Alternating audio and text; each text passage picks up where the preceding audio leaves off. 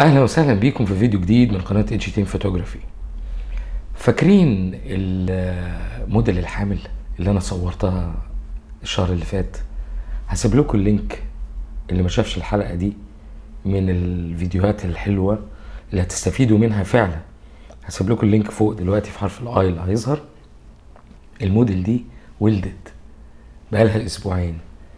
فالنهاردة ال session بتاع النهارده تصوير لل baby ده هيبقى أصعب session لأي مصور. صعب جدا فعلا. بس في شوية حاجات هقول لكم عليها. لو اتبعتوها هيكون سهل.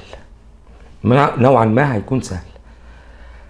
أول حاجة اوعى تعتمد أو تعتمدي على نفسك مهما كنت شاطرة أو مهما كنت شاطر في التصوير الموضوع مش تصويره بس لا. ده baby بيتحرك في الثانية 100 مرة بيعيط كتير آه بيجوع كتير. ما تنسوش إنه ال baby مش هيكون لابس بامبرز فالموضوع آه محتاج مجهود. ابدا ما تروحوش التصوير أو النوع ده من التصوير لوحدكم ابدا. لازم يكون في stylist لل baby هي اللي تحط ال baby بالوضع المناسب للتصوير طبعا بتوجيهاتك كمصور أو توجيهاتك كمصورة بالنسبة للزاوية لكن هي اللي تقوم بترتيب ال location أو ترتيب ال baby قبل التصوير.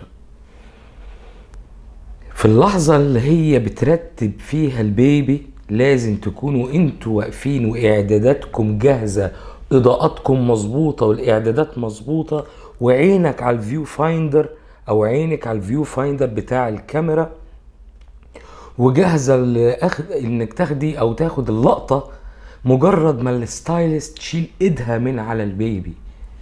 ده لو كان ال baby آه يعني مش مش رايح في النوم. وخصوصا البيبي اللي هنصوره أسبوعين. يعني بيصحى في لحظة. لو عارفين أسبوع خمس أيام بيبقى النوم عنده أكتر. كل ما بيكبر البيبي في العمر آه بيكون تصويره أصعب شوية. آه دي نقطة مهمة قوي. فلازم تبقوا واقفين جاهزين على ال shutter علشان تاخدوا اللقطة مجرد ما ال stylist دي هتشيل إيدها من على ال baby. حاجة تانية لو الأم دي أول ولادة ليها فخبرتها اعتبروها عشرة في المية. فلازم ويفضل إن تكون الجدة أم الأم تكون موجودة في ال location. أنا بقول الكلام ده عن تجربة. اللي هقوله لكم ده هيسهل عليكم ال session كتير قوي. الأم بتبقى عندها رهبة خايفة ما فاهمة ال baby بيعيط ليه. ال stylist بتقلب في ال baby آه وبتلبسه وبتلفه والأم قلقانة على بنتها. فالجدة فاهمة الكلام ده كويس قوي. ف بتعرف تتعامل ال baby يعيط هي هتعرف تتعامل أكتر بكتير من الأم ما هتعرف تتعامل. فمهم قوي قوي وجود الجدة. أنا يعني حضرت session قبل كده وشفت الكلام ده ففي السيشن بتاعتي اللي هتحصل دلوقتي استدعيت الجده والجد كمان. هم أجانب مش عرب لكن عرفت إن هم موجودين فأصريت إن الجدة بالذات تكون موجودة مع الأم والأب والجد هيكون موجود بس ملوش دور ولكن موجود. بس الجدة هي اللي مهمة. أهم من الأم. تمام؟ فابدا ما تروحوش أي session زي ده من غير stylist لأن انت أنت مصور أو أنت مصورة. هتفضي كل خمس ثواني ولا عشر ثواني. تروح تعدلي ال baby لا إيد ال baby طلعت لا اتحركت. أنت. مش فاضية للكلام ده. مش هتعرفي تصوري ولا هتعرف تصور. أنت واقف ورا الكاميرا مستني اللقطة المناسبة. عشان تلقطها. مظبوط؟ فيبقى هتدفع فلوس شوية وتحمله على العميل إنه محتاج stylist لازم لازم في تصوير ال baby. okay؟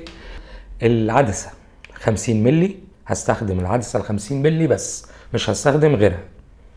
آه، فتحة العدسة هتكون على F 3.2 أو لغاية 4 من 3 ل 4 ده ال range اللي هستعمله بس هو في الغالب 3.2 آه ال shutter speed 1 على 160 ال ISO ISO نسيت.